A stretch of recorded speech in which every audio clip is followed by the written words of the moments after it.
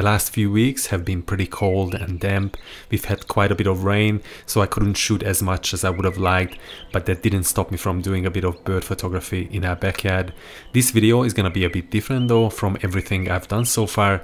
In 99% of scenarios you would need a telephoto lens to capture detailed portraits of wildlife such as birds, but if you can get close enough, you can also create some amazing images with a wide angle lens or even a macro lens for some really intricate detail. If if you've been watching my channel for a while, you might have noticed my relatively recent obsession with Australian magpies. I find them extremely fascinating and I'd like to show you two different series of shots I took of a juvenile and an adult male that has become very used to my presence and allows me to get really close. In the first series I used my 35mm f1.4 both wide open and also stopped down to f2.8 for a dreamy look. I shot these on my 1DX Mark II and I also had a mist filter on to further increase this dreamy kind of effect I was after. The images in the second series were all taken with my Canon 100mm macro lens on my Canon 80D and some were shot at about 0.5 to 1 magnification ratio which allowed me to capture very fine detail for example in the feathers and the eyes.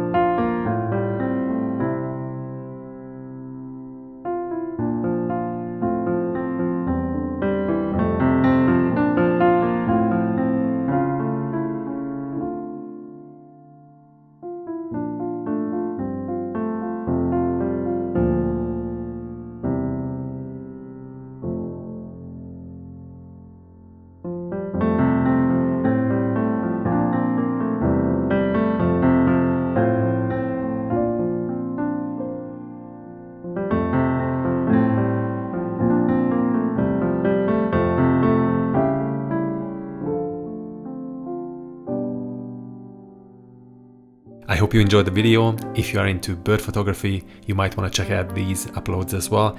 Thank you so much for watching and see you all very soon in the next one.